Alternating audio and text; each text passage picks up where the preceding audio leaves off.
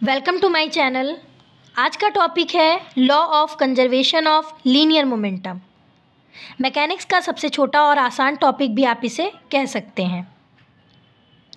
सबसे पहले हम यहाँ इसकी स्टेटमेंट देखेंगे। बाद में इसका जो प्रूफ है हम वो करेंगे। प्रूफ बहुत सिंपल है, बहुत छोटा है। कुछ दिनों से हमारे चैनल पे बी एस के रिगार्डिंग जो वीडियो लेक्चर्स हैं टॉपिक के, वो नहीं आ पा रहे थे। इस बीच हमने physics practical viva and assignment के जो वीडियो लेक्चर हैं, वो हमने अपलोड किए हैं तो वो आप देख सकते हैं, काफ़ी यूज़फुल हैं आपके लिए। चलिए स्टार्ट करते हैं और आज से ये सीरीज़ स्टार्ट हो रही है। मैकेनिक्स मैकेनिक्स की और अगर आप इसे क्लासिकल मैकेनिक्स में भी पढ़ रहे हैं तो आप यहाँ से ज्वाइन कर सकते हैं और पढ़ सकते हैं।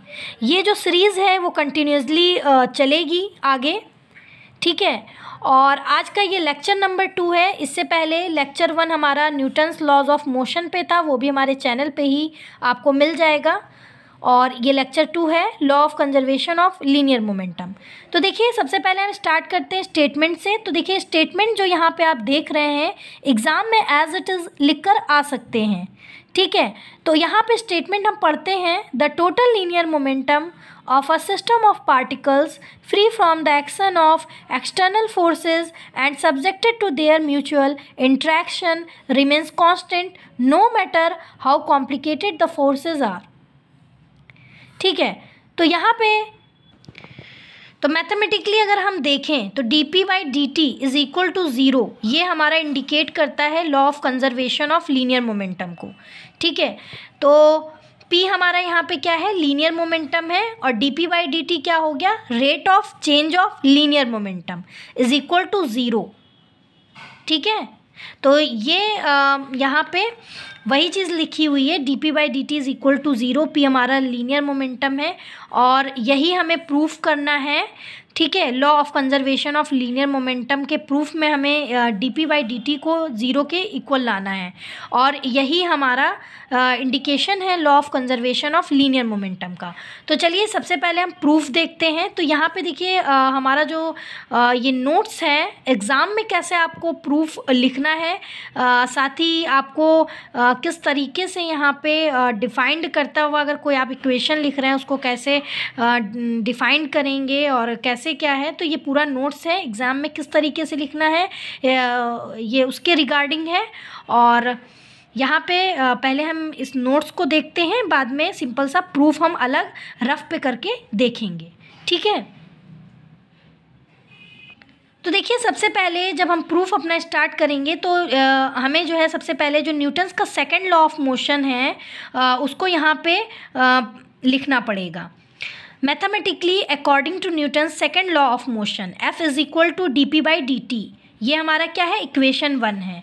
और ये कहाँ से हमने लिखा है? न्यूटन्स के सेकेंड लॉ ऑफ़ मोशन से लिखा है। तो यहाँ पे Newton second law of motion क्या है? पहले हम थोड़ा उसको डिस्कस कर लेते हैं। तो देखिए, जो न्यूटन का सेकेंड लॉ ऑफ़ मोशन है, वो क्या कहता है कि the rate of change of linear momentum of a body is proportional to the applied force ठीक है? ये उस जो है स्टेटमेंट है Newton second law of motion का, जिसे लॉ ऑफ़ फोर्स भी कहा जाता है। ठीक है? तो यहाँ पे एफ़ क्या है? अप्लाइड फोर्स है, और ये किसके प्रोपोर्शनल है? ये rate of change of linear momentum के प्रोपोर्शनल है, ठीक है? तो यहाँ पे जब हम प्रोपोर्शनैलिटी का जो ये सिंबल है, इसको जब हटाएँगे तो यहाँ पे इक्वल करके ये जो के है जिसको प्रोपोर्शनलिटी कांस्टेंट कहते हैं, वो यहाँ पे हम लिख देंगे, ठीक है?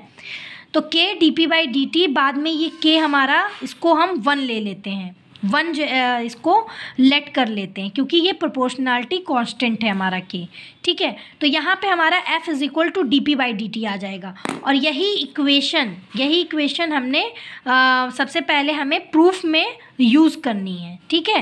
बाद में आगे इसी को ही जब हम आगे प्रूफ करते हैं लीनियर मोमेंटम का जो फॉर्मूला होता है सॉरी लीनियर मोमेंटम जो इक्वल होता है मास और वेलोसिटी के प्रोडक्ट के है ना? तो वो यहाँ पे हम पी की जगह पुट कर देते हैं एम वी तो हमारा ये जो है डिफ्रेंशिएट होके एम हमारा कांस्टेंट है, आगे लिखा जाएगा d v by d t जो कि rate of change rate of change of velocity होता है, जो कि एसिलरेशन ए के इक्वल होता है। तो यहाँ पे F is equal to m a हमारा आ जाता है। तो यही आपने ये वाला फॉर्मूला भी पढ़ा होगा कि न्यूटन का सेकेंड लॉ ऑफ़ मोशन क्या होता है? F is equal to m a होता है है ना? स्टेटमेंट में आपने ये वाला फॉर्मूला पढ़ा होगा, बाद में जब आप इसको पूरा प्रूफ करते हैं तो F is equal to m a आता है। तो ये रही बात हमारी Newton second law of motion की लॉ ऑफ़ फोर्स की, जिसको हमने मैथमेटिकली आपको बताया। पर यहाँ पे जो हमारा ये मेन ये फॉर्मूला था F proportionality d p by d t तो इसको जब हमने ये आ, इसका सिंबल हटा के इक्वल लगाया तो के हमारा ये कांस्टेंट आया और के की वैल्यू जब हमने एफ़ रखी तो एफ़ इज़ इक्वल टू हमारा d p by d t आया। और यही जो इक्वेशन है यही आ, जो है Newton second law of motion है और इसी को हम अपने प्रूफ में सबसे पहले यूज़ करेंगे। तो ये इक्वेशन वन हो गई। अब यहाँ पे एफ़ यहाँ हमने हमने बता दिया कि एफ़ हमारी क्या है? अप्लाइड एक्सटर्नल फोर्स है, जो कि पार्टिकल सिस्टम के पार्टिकल्स पे एक्ट कर रही है। ठीक है? ये हमने यहाँ पे लिख दिया। उसके बाद हमारा क्या होगा? If for an isolated system अगर हमारा सिस्टम आइसोलेटेड है तो हमारा जो एक्सटर्नल फोर्स एफ़ है, वो किसके इक्वल होगा? ज़ीरो के इक्वल होगा। क्योंकि आइसोलेटेड सिस्टम में जो फोर्स है हमारा, वो एक्सटर्नल फोर्स वो क्या है? एबसेंट है। फोर्स वहाँ पर लग ही नहीं रहा है। तो एफ़ हमारा क्या रखा जाएगा ज़ीरो रखा जाएगा, ठीक है? तो d p by d t भी हमारा क्या हो जाएगा? ज़ीरो हो जाएगा। जब हम ये F is equal to zero equation one में लिखेंगे तो यहाँ पे इक्वेशन वन हमारी क्या आ जाएगी? D p by d t is equal to zero आ जाएगी, ठीक है? और यहाँ पे आगे लिखा हुआ भी है फ्रॉम इक्वेशन वन नाउ उसके बाद जो है, हमारा लीनियर मोमेंटम का जो फॉर्मूला होता है है ना? जो हमारा फॉर्मूला होता है लीनियर मोमेंटम का। लीनियर मोमेंटम पी किसके इक्वल होता है? मास और वेलोसिटी के प्रोडक्ट के इक्वल होता है। तो इसको हम इक्वेशन नंबर टू पुट करेंगे, फिर हम इसको डिफ्रेंशिएट करेंगे इस पूरी इक्वेशन को। विद रिस्पेक्ट टू टी है ना? टी के रेस्पेक्ट में जब हम डिफ्रेंशिएट करेंगे तो हमारा यहाँ पे आएगा d p by d t is equal to m d v by d t m हमारा कांस्टेंट जो है, इसको ट्रीट किया जाएगा तो एम हम आगे लिखेंगे d v by d t आ जाएगा। बाद में ये जो d v by d t है, ये हमारा क्या है? Rate of change of velocity है, जो कि हमारा किसके इक्वल होता है? एसिलरेशन के इक्वल होता है। D v by d t is equal to a तो यहाँ पे हम ए पुट कर देंगे। D p by d t is equal to m a तो यहाँ पे आ, ये किसका फॉर्मूला आ गया? ये फोर्स का फॉर्मूला आ गया एम ए है ना? तो d p by d t is equal to F है ना? तो एम ए की जगह हम एफ़ लिख देंगे। फोर्स का फॉर्मूला होता है। फोर्स के इक्वल होता है एम ए फिर यहाँ पे आइसोलेटेड सिस्टम में एफ़ हमारा क्या था? ज़ीरो था। तो D P by D T is equal to zero ये प्रूफ हो चुका है। ठीक है? तो यहाँ पे अब देखिए लास्ट में हम क्या लिखेंगे? ये बहुत इंपॉर्टेंट चीज़ है, आप इसको एग्ज़ाम में ऐसे लिखेंगे।